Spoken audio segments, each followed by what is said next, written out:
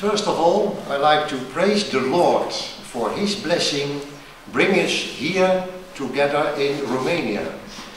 Înainte de toate aș vrea să laud pe Dumnezeu pentru că am putut să venim în locul acesta să ne bucurăm înaintea lui Dumnezeu.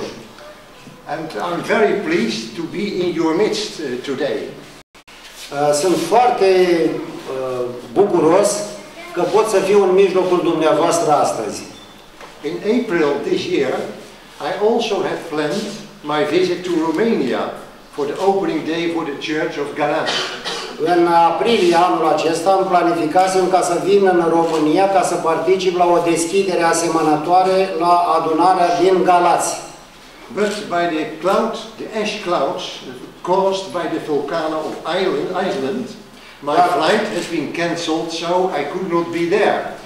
Dar după cum ați aflat în perioada aceea, norul acela de cenușă vulcanică, ce a provenit de la vulcanul din Islanda, a făcut ca zborul meu în România să fie anulat și de aceea nu am putut să fiu la inaugurarea din Galați. As a representative of our foundation, Help East Europe, I like to share with you this official opening day and this from this new church here in Slovakia. Și ca un uh, reprezentant al fundației din Olanda, ca reprezentant al acestei fundații Ajutor pentru Europa de Est, uh, am venit în locul acesta ca să particip la această deschidere, să-i spunem, oficială a acestei biserici. As far as I know, I meet, uh, it is 13 years ago that I meet Dempsey Mihai for the first time. După cât uh, îmi amintesc, uh, l-am întâlnit pe fratele Demșa Mihai, care se ocupă de această biserică, acum vreo 13 ani în urmă. And he was started as a volunteer evangelist in the area of Slovakia. Și el a pornit uh, venind din București ca un uh, evanghelist voluntar aici în orașul Slobozia. And I met him in that time in a very old house. Și l-am întâlnit în vremea aceea într-o casă foarte uh, veche. And in this house were the church meetings and at the same time it was his home.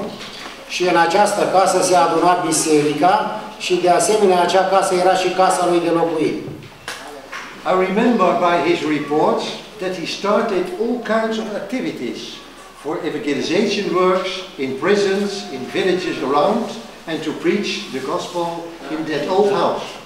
Și mi-aduc aminte că potrivit cu raportările lui, el a făcut foarte mult lucru pentru înaintarea Evangheliei în oraș, în satele din prejur, în închisoare și de asemenea și propovăduind Evanghelia în casa de care v-am vorbit mai devreme. And from the very beginning, our foundation supports the bear for all this evangelization work.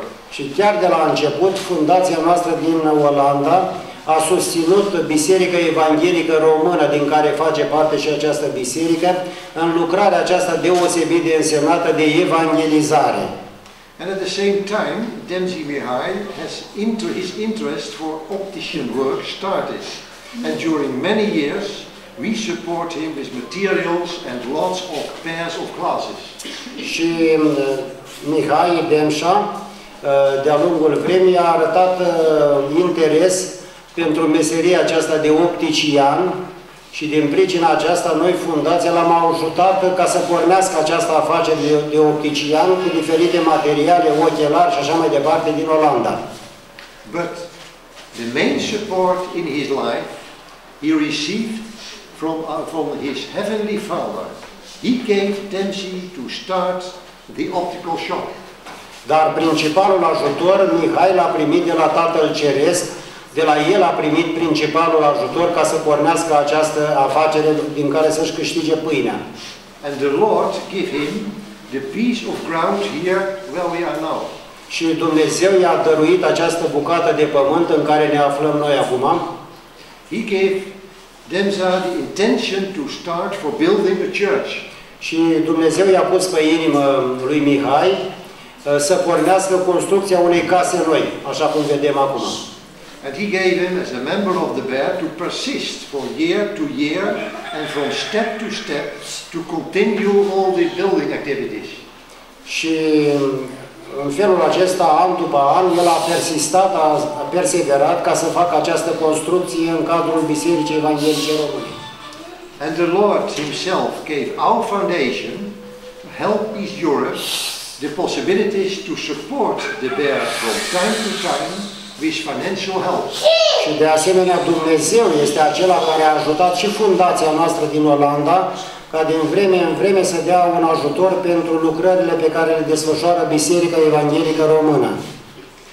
So if we are looking back, we can say that all things together were coming only from our Lord by the work of His Holy Spirit in all our hearts. Și dacă este să privim în urmă, constatăm că toate lucrările acestea au venit din partea lui Dumnezeu prin Duhul Sfânt pe care ne l-a dat.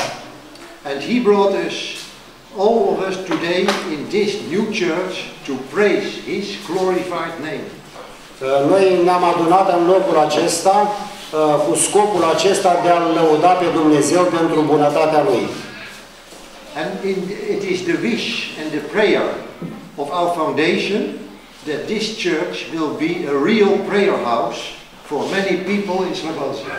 Și este dorința noastră și rugăciunea noastră către Dumnezeu la fundația noastră ca această casă de adunare unde se vestește Cuvântul lui Dumnezeu să însemne mântuire pentru toți mulți oameni. And that the gospel will spread over all this town. Și Evanghelia, care este vestea bună a lui Dumnezeu, va fi răspândită în această perioadă care Dumnezeu o va mai îngădui. I like to finish with my prayer for this new church. Like the prayer of King Solomon, which you can read in 1 Kings chapter 8, verse 29 and 30. That will be my prayer for you.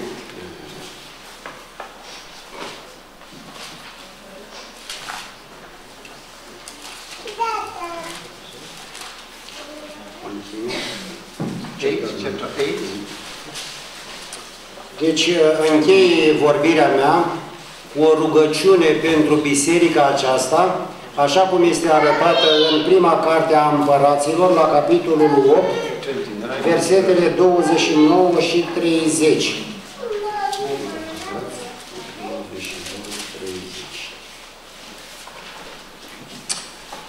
Ochii tăi să fie zi și noapte deschiși asupra casei acesteia, asupra locului despre care ai zis, acolo va fi numele meu. Ascultă rugăciunea mea pe care ți-o face robul tău în locul acesta. Binevoiește și ascultă cererea robului tău și a poporului tău Israel când se vor ruga în locul acesta. Ascultă-i din locul locuinței tale din ceruri, ascultă-i și iartă-i. Este o rugăciune a împăratului Solomon către Dumnezeu. God, God bless you all. Amen. Dumnezeu să vă binecuvinteze pe toți. Amin. Amin.